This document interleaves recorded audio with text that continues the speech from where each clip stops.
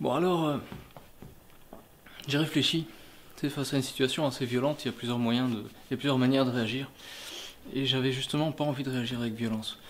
Moi, j'ai toujours été quelqu'un qui, euh, repoussait la violence. J'ai grandi dans des quartiers très violents, j'ai vécu des situations très violentes.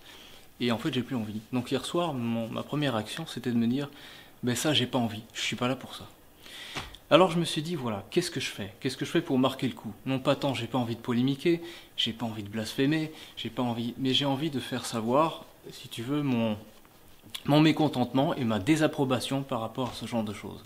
Alors oui, voilà, hier soir je me suis dit, à partir de 19h, j'entame une grève de la faim de minimum 48 heures, simplement pour faire savoir mon désaccord par rapport à la situation.